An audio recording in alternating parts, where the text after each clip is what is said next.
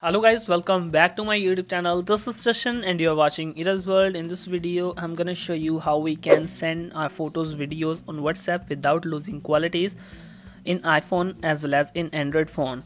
The method of android phone is very easy but in iphone we just need to uh, take the two three steps more in order to send the photos or videos without losing quality. I hope you will like this video so let's start. So guys you can see here this is my iphone 10 and this is currently running on ios 13.7 and this is no matter which ios version you are running on. So guys now you can see here there is only a file application available in your iphone. If this is available this method will work. This files application comes default in the iphone. If you have offloaded this app make sure you install this app okay? So firstly go ahead to the photos app and for example i will share this photo on whatsapp. I will not directly share this photo because if I would like to share this photo directly it will lose quality and you can see here the actual size of the photo will be reduced.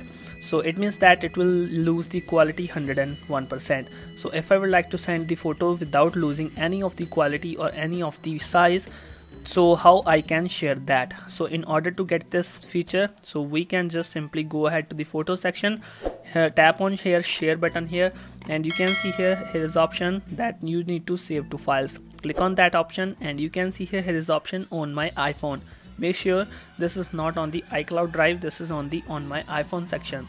Hit save button here and after this you can see here open files application from here. Or if you don't want to open files application just open the whatsapp.